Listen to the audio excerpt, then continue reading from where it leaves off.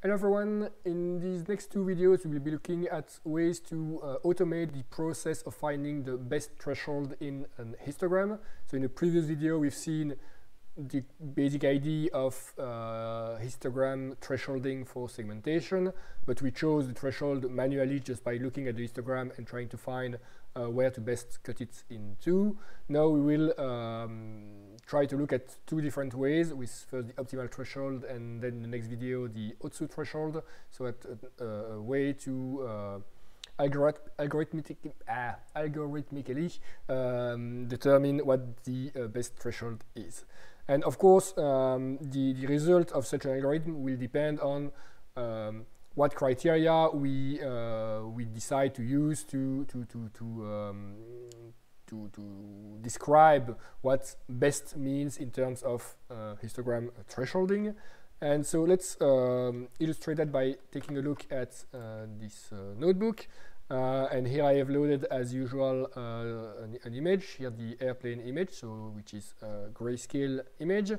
And if we look at the uh, at the histogram, we can we, we can see that um, we we have kind of one large distribution of, of dark pixel and one uh, smaller here distribution of um, of much uh, lighter pixels. And intuitively, we we we kind of can make the um, the, uh, the, the, the, the, link between these two distributions and the image that we that we see, or we can see that there is clearly a region of the image that tends to be to have uh, lighter pixels, and a region of the image, the building in this case, where the pixels tend to be darker.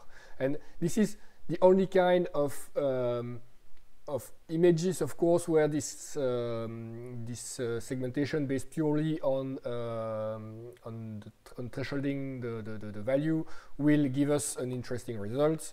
Uh, this is something that we already talked about in previous video. We need to have a direct link between the object that we are trying to detect and the, the value of the uh, pixels.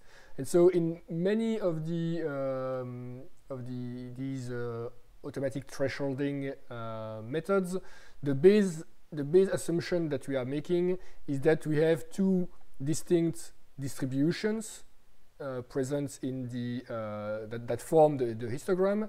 And so the goal will be to find a, a threshold such that, the, those two distributions are separated as well as possible. Um, and so one way to do that is with the optimal threshold uh, algorithm. And so if we if we take a look step by step at, at this algorithm, this is uh, an iterative algorithm, and the idea is that we start with an histogram. So here between we have um, uh, bins that go between 0 and 255, and uh, for each of these bins we have a value, which is the number of pixels which have that particular uh, value. And we'll start with an initial threshold that will be somewhere between 0 and 255. And so in the optimal threshold, first we cut the distribution in uh, two parts. So first part from zero to the threshold and then from the threshold to 255. And so we get two separate uh, histograms. And for each of those two, we will compute the uh, centroid. So we'll compute the centroid of the part of the distribution from 0 to t and then from t to 255. 55. Um, and once we have the two centroids, we'll determine the new threshold to be exactly between those two uh, centroids. So we want to, to find the point that where, where the, the two centroids are at equal distance from this uh, new threshold. And then from this new threshold, we will recompute everything. So again, cut the distribution in two parts, but this time around this new threshold, compute the centroid, compute the new threshold, etc., etc. And we will do that until the new threshold does not move anymore. So until the new threshold is equal to the uh, old threshold. So how can we um, quickly do that uh, in the code? So here I have made a, a method um, to compute this uh, optimal threshold. And we can see here the different steps. So first we cut the distribution in two. So we take in the first part the histogram from 0 to t, and then know, the second part from t to the end. in each of those, we compute the uh, centroid. So here I'm using um, again uh, some uh, the NumPy uh, broadcasting. So to first do the computation element by element. So I'm taking the with a range from 0 to t, this will give me an array that goes 0, 1, 2, 3, 4, 5, etc. until t minus 1. Uh, so this will give me the uh, i here in this, uh, in this formula that I multiply by h uh, so uh, in each element I multiply the, the, the, the, the value in the histogram by uh, i. I sum on all of that and then I divide it by just the sum of the um, of the values of the of this part of the histogram. I do the same for the second uh, centroid and then we can compute the new threshold and I will uh, convert that to uh, an, an, integer since uh, well the, the, the, the, type here of my image is 8-bit uh, uh, unsigned integers. And so I know that uh, um, it doesn't make really any sense to there is no difference between threshold at uh, 126.5 or threshold threshold 126.9 it's the same it's the same threshold in this case um, and so I'm just rounding it and and casting it to uh, to uh, to integer. And anyway, for this operation, I need t to be uh, an integer, or NumPy will return an error. here I just print I will just print the um, intermediate values just to have to look at what's happening. And if we have not converged to, um, to, to, to, a stable threshold, we just call the uh, function uh, again. Uh, otherwise, we return what we have found. So let's have a look at, um, at what uh, this does. So here I'm computing the, the histogram um, for, the, for the image. Uh, and then calling this method, starting with uh, a basic threshold of 127. So I start just right in the middle to have a look at uh, what's happening. And here I can see that in just three uh, steps I converge to a value which is 115. And so if we take a look at what's happening in the, um, in the process, well we can see that uh, first we computed the, uh, the two centroids and by cutting at 127, so 127 is uh, some, somewhere here. The first um, centroid will be around 44. So this brings us uh, over here. So this is the centroid of the part of distribution that goes from 0 to 127.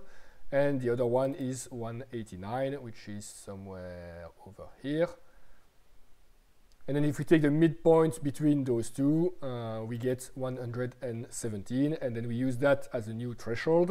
We recompute the centroids, gives us 43, 186 a new threshold at 115 and this uh, this time it converges we can see that the new centroids are uh, almost at the same place and we uh, stay at the same uh, threshold um, so the threshold is uh, 115 one thing that we can do is try to um, to see if this is a stable uh, threshold. So this is something that's uh, always interesting to, to check.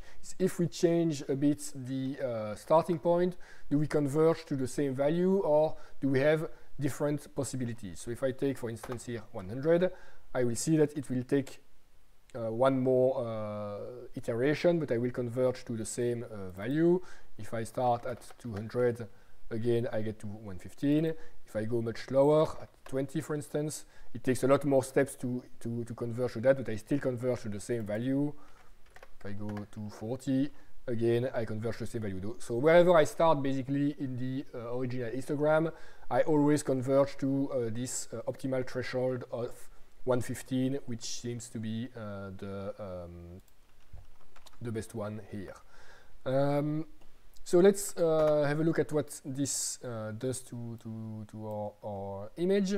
And uh, here we can see um, the, uh, the, the, original image. This is the mask that I get by thresholding at 117. And this is applying the mask to the uh, original image. And as usual with these kinds of algorithm, I have a result that is relatively noisy. I can use uh, like we did in the previous uh, video, um, morphological operation to uh, kind of clean up the results and get uh, a, a, mask that um, that is yeah a lot a lot cleaner um, to, that we can that we can use here to separate the two the two parts. And again, the result is almost never perfect with these kinds of of, of methods. Um, we, can see that some the, the, the, parts of the building that are uh, basically the parts that are illuminated directly by the, the sun and which therefore are uh, lighter uh, will be part will be seen as part of the sky in this in this particular instance. We cannot avoid that with uh, a method purely based on uh, histogram thresholding since those parts of the building are actually lighter than the sky so we'll never be able to to uh, to get them as part of the building uh, just with uh, this kind of, uh, of thresholding.